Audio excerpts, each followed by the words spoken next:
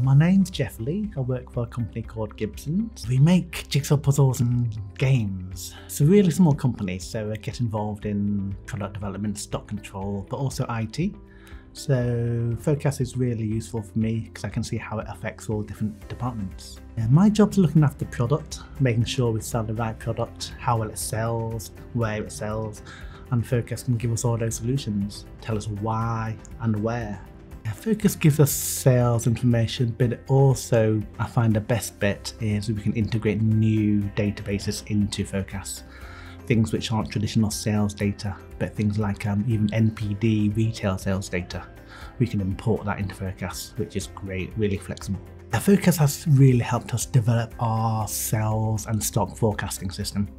Um, without it, it, we really couldn't build it as it is. We need more data from Amsolve, and Phocas gives us that.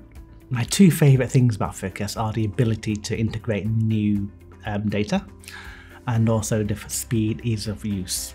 That's really great. It helps my colleagues to actually use it without asking me.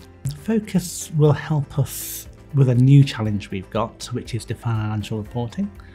Um, that's something which takes a lot of time, the management reporting, but hopefully it will help that department to create quicker reports, quicker, easier, more accurate reports. Business data is important, but we didn't realise how important it was until we had Phocas. Um, there was lots of information we were missing, but we didn't realize we were missing because we couldn't see it.